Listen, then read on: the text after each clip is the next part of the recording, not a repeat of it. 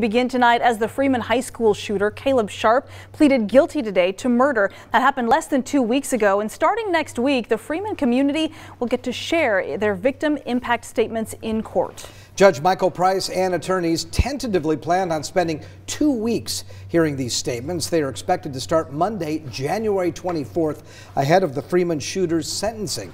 Spokane County prosecutors expect 150 people will share their statements in person or over Zoom. In a status conference hearing this morning, Judge Price told attorneys he wants to be as accommodating as possible to give everyone a chance to share their statements.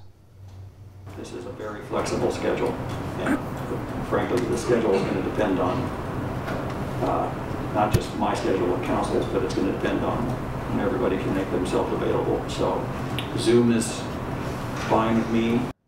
So the shooter pleaded guilty to first degree murder, three counts of attempted attempted first degree murder and second degree assault. Now the sentence hearing for those charges could start in March. The schedule for those victim impact statements is expected to be finalized this coming Friday and we will certainly keep you updated on any changes.